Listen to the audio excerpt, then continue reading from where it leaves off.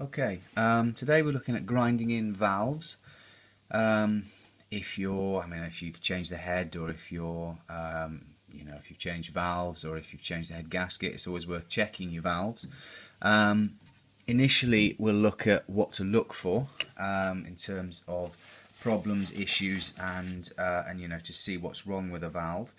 Um, now, what you do is you take them out. Now this this head here has suffered some pretty serious water damage down the exhaust, um, and uh, it's to be fair, it's I may not be able to salvage it, but I'm gonna I'm having a go. Right, what we're looking for on the valves, we're looking for dark spots, grey spots, and just just pits of corrosion. It should be a nice bright three four mil wide um, shiny face on that where the valve hits the seat. We also want to be looking on the valve seat itself for little pits and bits and bobs like that. You can see there's quite a lot on there. Now, here's something to consider, okay? This valve seat runs back about, in this case, about half an inch. So you can actually cut this right back to get rid of all those pits. Now normally you'd want to use a machine, you'd get the machine that, um, that cuts a nice perfect angle on those valve seats back in um, and uh, you do the same with the valve um, but you know if you're watching my videos that's not what you're after doing. Uh, what you're after doing is getting it going and getting it running. Uh, what I do is I get some grinding paste. Here's some coarse and here's some fine. Get some grinding paste and I grind the two uh, I grind the, the, the pits back uh, with the grinding paste. Now, as I say, this head is pretty much junk. Um, I have actually cut this valve back probably almost 2 mil um, to get rid of the, the, the, the, pits in it. That's how they should sit. You can see that there's almost, that's very, that's 2 mil there down in, and this one's more like 3.5 mil down in. But it'll work. Um, so what I do now, you may think, oh God, how long is that going to take to, to, to grind it back with grinding paste all the way? Now a lot of people obviously are going to hate this idea, but what you do is you get your electric drill, you put your little bit of grinding paste on your um, on your valve, get your little bit of grinding paste on your valve like that. You get a bit of oil and put it on the valve stem here now you've got to be careful not to get grinding paste on the valve stem because if you do, what it's going to do is it's going to ruin your valve stem, um, uh, your valve guides. What you do then, turn your head, get your electric drill. I know this is a different valve I'm going on, but get your electric drill and just gently close the chuck up like so. And um, you can then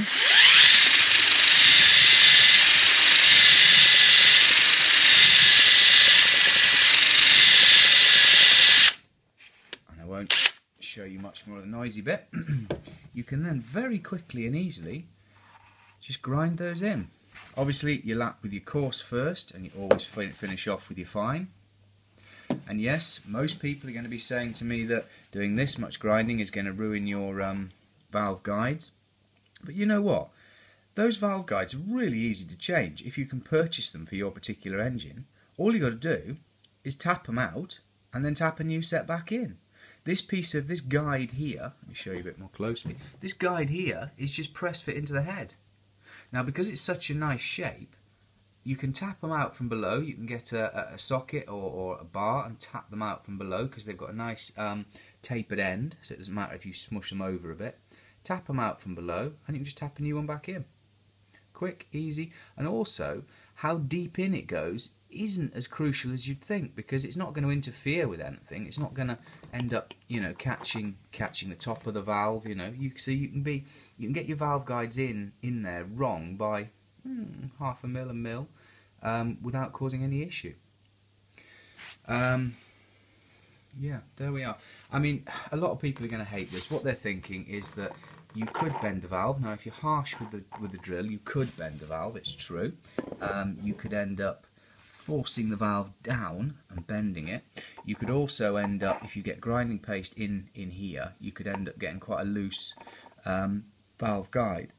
Uh, but it's it's um, such a quick and easy way to do it with the drill. You obviously what you're doing is you're you're letting it, you're pushing forwards and backs, forwards and back, and what you're doing by pushing forwards is you're letting the some fresh paste spray out onto the face of the valve, um, and then what you're looking for is you're looking for your um, this is one I'm in the middle of grinding. Um, you're looking for a nice a nice um, grade patch the whole way round, both on the face and on the guide. Uh, sorry, and on the, the seat. Um, but this one, unfortunately, has still got um, has still got a few pits on it. Now, really, this is this is dependent on the type of machine you're working on. Let's be honest. If you're working on some beautiful, you know, 2013 Merc engine, um, you don't want to be doing this. This is a Perkins 1, 10310, um, same type that goes in a, a mini digger, uh, JCB 801 and things.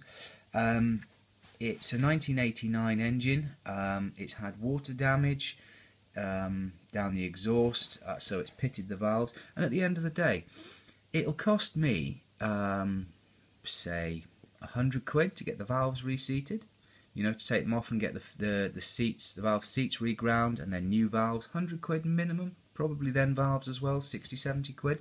So we might be talking almost 200 quid to do this head properly. Now I could get a used head for that, but this might work. Well, sorry, no, not this might work, this will work. I will, um, I'll show you a video of it running at the end. Um, yeah, subscribe guys. Um, this will work and this will be no issue. Um, so, and all it's costing you is a little bit of time, and it's not much using the drill, and some grinding paste. Right, hope that helps. Um, there we are.